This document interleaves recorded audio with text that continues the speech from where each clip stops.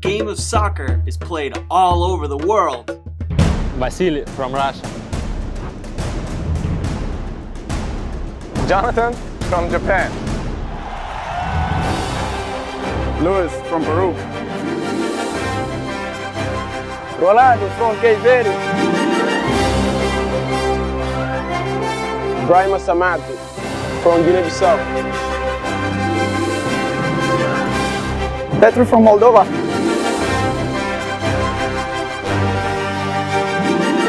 Elmer from Guatemala.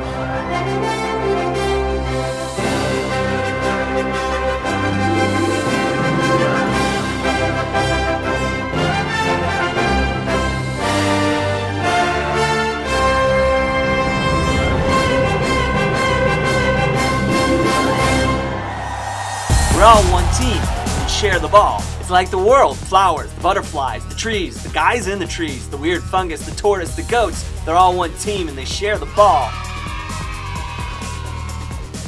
In the game, everyone on the team is connected. When they share the ball,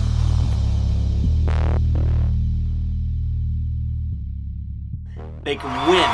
If you lose a player, you lose the ball. In the world, everything is connected. It's just like the game. If you lose a player, you lose the ball. There are rules to the game. If you break the rules a lot, well, you get a warning. If you break the rules too many times, you get kicked out.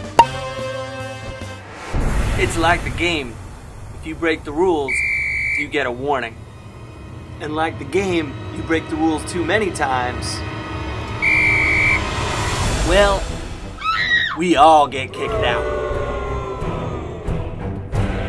There are a lot of things you can do to play the game right. Drinking bottled water just contributes more to the waste problem in the world. You can reduce your waste using a reusable bottle.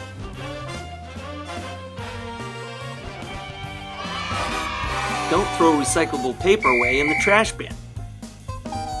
You can save a lot of energy by putting paper in the proper recycling bin.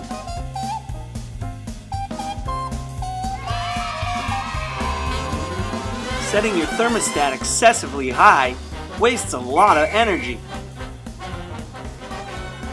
By setting your thermostat at a more reasonable temperature, you can save a lot of energy and a lot of money. So, if we use our heads,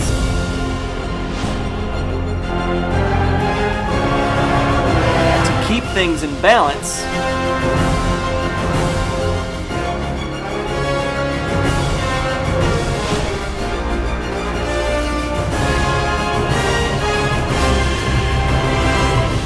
then we can